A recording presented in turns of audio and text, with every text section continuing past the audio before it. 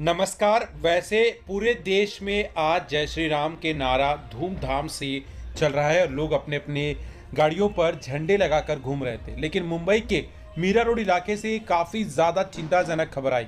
आप तस्वीरें देख सकते हैं, यहाँ पर कुछ युवकों ने गाड़ियों पर झंडे उखाड़ने शुरू कर दिए।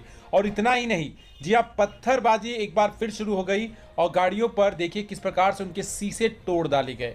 जी हाँ ये बहुत ही ज़्यादा जो घटना निकल कर आ रही है मीरा रोड से, वो काफ़ी ज़्यादा चिंताजनक है कि राम के ही देश में राम भक्तों के साथ इस प्रकार का दुर्व्यवहार हो रहा है। आखिर उनकी गलती क्या है?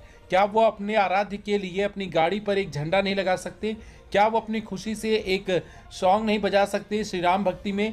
क्या ऐसा इसी देश में हो रहा है? जी हाँ क्योंकि यहाँ पर तो सभी का कहना था कि अब राम युग आ गया है। ऐसे लोगों के खिलाफ कार्रवाई ज़रूर होनी चाहिए। प्रशासन को स्पेशली इस पर ध्यान देना चाहिए कि 22 जनवरी के दिन ऐसी घटना आखिर कैसे घटी मुंबई में?